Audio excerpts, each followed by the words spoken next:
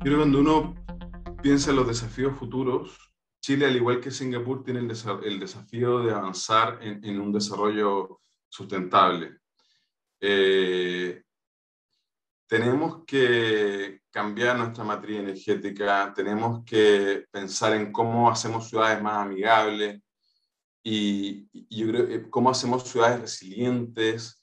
Y en eso Chile y Singapur pueden eh, colaborar y pueden tener eh, se pueden abrir muchas eh, oportunidades.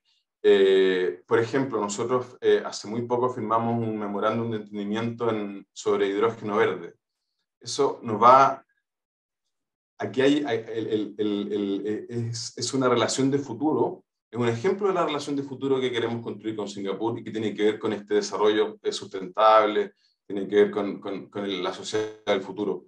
Eh, ¿Qué es lo que aporta Chile? Chile, bueno, tenemos eh, una experiencia, eh, estamos, tenemos ventajas naturales, tenemos el sol, como dice el, último artículo del The Economist, Chile exporta sol y, Singapur es un país que tiene capacidad de invertir, los países, los fondos soberanos de Singapur son uno de los, han sido uno de los fondos más importantes del mundo, tiene una capacidad tecnológica eh, y, en este caso en particular del hidrógeno verde, eh, claro, además de invertir, también Singapur ve en esto la posibilidad de, participar en la cadena comercial, en la distribución y también en el desarrollo tecnológico, porque todavía el hidrógeno verde requiere darle una vuelta a cómo se va almacenar, cómo se va a producir, cómo se va a vender, cómo, cómo se va a transportar. Todo eso es un desafío tecnológico que Singapur ya está trabajando en ello. Entonces,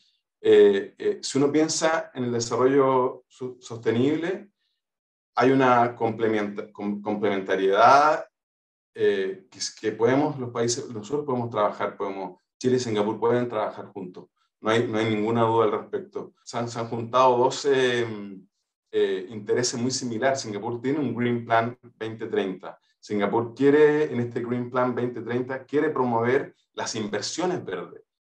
Quiere, quiere invertir en empresas, quiere invertir en empresas que sean amigables con el medio ambiente. Y Chile le puede dar esa oportunidad a Singapur y pueden haber alianzas importantes. Entonces, ese es el futuro. Thank you.